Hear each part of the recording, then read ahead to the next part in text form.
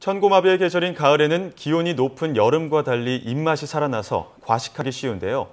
그래서 적당한 몸무게를 유지하기 위해 다이어트에 도전하는 분들이 많아지는 시기이기도 합니다. 네, 그런데 이 다이어트에 도전하는 분들 가운데 몸매에 집착해서 한꺼번에 많이 먹고 운동을 과하게 하는 등 폭식증의 증상을 보이는 경우도 있는데요.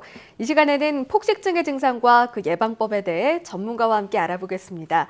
분당 서울대병원 가정의학과 한종수 교수 전화로 연결됐습니다. 교수님 안녕하십니까? 네, 안녕하세요. 네.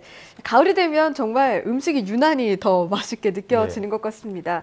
단순히 음식을 먹는 양이 늘었거나 또 자주 먹는다고 해서 폭식증이라고 보기엔 좀 어려울 것 같은데요. 폭식증을 진단하는 기준이 혹시 있습니까?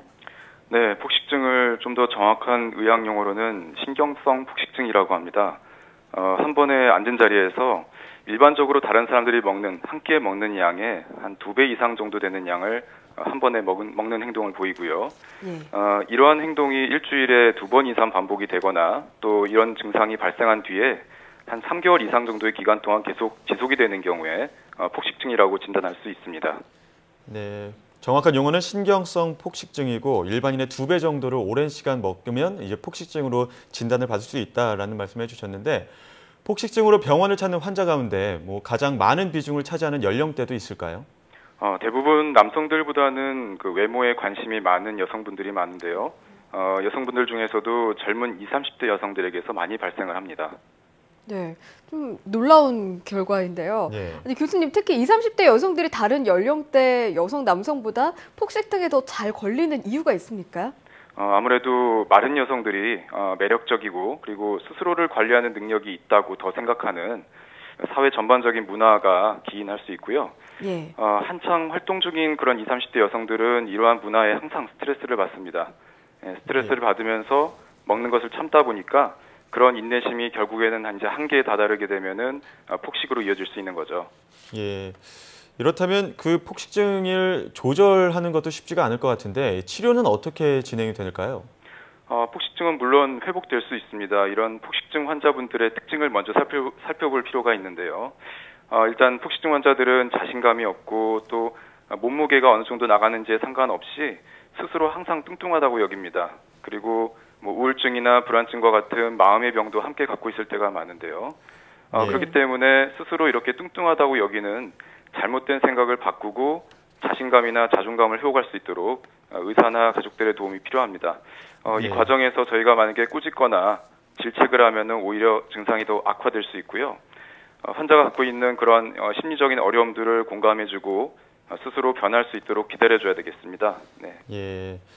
어쨌든 이런 게 신체적인 질환이 아니기 때문에 폭식증에 걸렸다가 또 정상으로 돌아왔다가 그리고 다시 폭식증으로 재발하는 가능성도 있는지도 궁금한데요. 네, 맞습니다. 어, 치료를 통해서 증상이 이제 좋아진 경우에도 대략 한 3분의 1 정도에서는 스트레스를 많이 받거나 하는 그런 상황에 따라서 또 재발하는 경우도 많기 때문에 주의를 요할 수 있죠. 예. 네, 그렇군요. 요즘에는 그런데 10대들이 뭐 화장도 많이 하는 것처럼 네. 20, 30대 젊은 여성뿐 아니라 한창 예민한 사춘기 학생들도 외모에 대한 고민을 참 많이 하고 있는데요.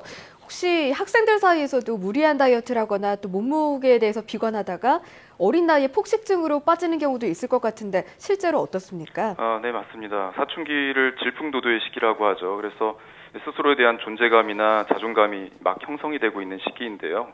어, 이런 예민한 시기에 날씬한 것을 강요하는 그런 사회 전반적인 분위기 영향을 받다 보면은 아무래도 폭식증에 빠질 수 있는 그런 경향이 높습니다. 예. 또 폭식증을 초기에 치료하려면 증상을 제대로 알아야 될 것 같은데요. 아까도 말씀해 주셨지만 일반 식사량의 두 배 정도 먹으면 폭식증의 증상이 될 수 있다라는 말씀을 해주셨는데 대표적인 증상에 또 어떤 것들이 있을까요? 아, 평소에는 먹는 것에 대해서 죄책감을 항상 갖고 있습니다. 그래서 다른 사람들 앞에서는 먹는 행동을 억제를 하다가 어, 다른 사람들 안 볼 때 침실이나 화장실 등에 숨어서 한꺼번에 그런 많은 양을 먹기도 하고요.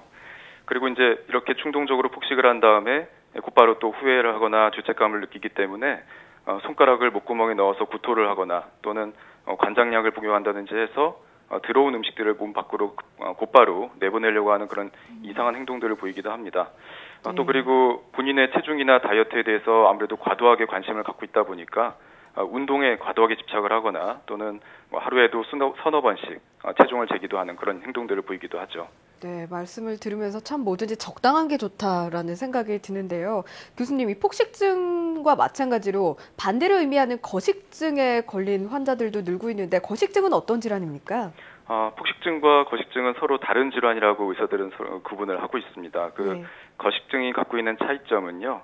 어, 폭식을 하는 경우가 폭식증에 대해서는 비해서는 상대적으로 좀 드문 편입니다. 그리고 이 폭식을 하게 되면은 폭식증에서처럼 구토를 하기도 하지만 대체로는 다른 사람들이 옆에 있든 없든 간에 상관없이 그 먹는 것 그 자체를 거부하는 것이 거식증이고요. 예. 어, 그에 따른 결과로 이제 폭식증은 대부분 정상 체중인 경우가 많지만 이 거식증은 정상 이하의 저체중인 경우가 많습니다. 뭐 하지만 둘 다 그 자체가 마음의 병이기 때문에 어, 같은 공통점은 있고요.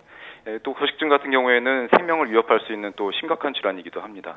예, 둘 다 마음의 병인 건 마찬가지지만 거식증은 폭식증과 달리 아예 먹질 않는 그런 질환인 것 같은데요. 그렇다면 이 끝으로 폭식증과 거식증의 뭐 발생 원인이라든가 치료법 비슷하다고 볼 수 있을까요?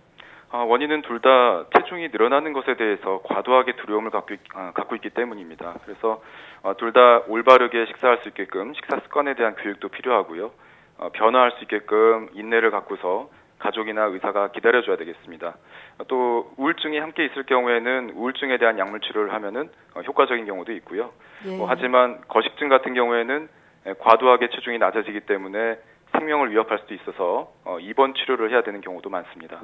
네, 무엇보다 주위의 도움도 좀 많이 필요할 것 같습니다. 교수님, 그럼 끝으로 폭식증을 미리미리 생활 속에서 효과적으로 예방하는 방법 전해주시죠. 아, 네. 폭식하는 상황을 좀 살펴보게 되면은 주변으로부터 어, 스트레스를 과도하게 받는 경우가 많습니다. 그래서 어, 미리 과도하게 받는 스트레스들을 조절하는 것도 중요하겠고요.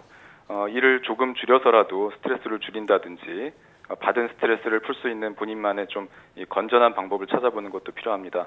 어, 그리고 이제 아무래도 불규칙하게 식- 어, 생활하시는 분들 같은 경우에는 또 이런 폭식이 더 심해질 수 있기 때문에 에, 규칙적으로 자고 먹고 또 뭐 일한다든지 이런 규칙적인 생활을 유지하는 것도 중요합니다.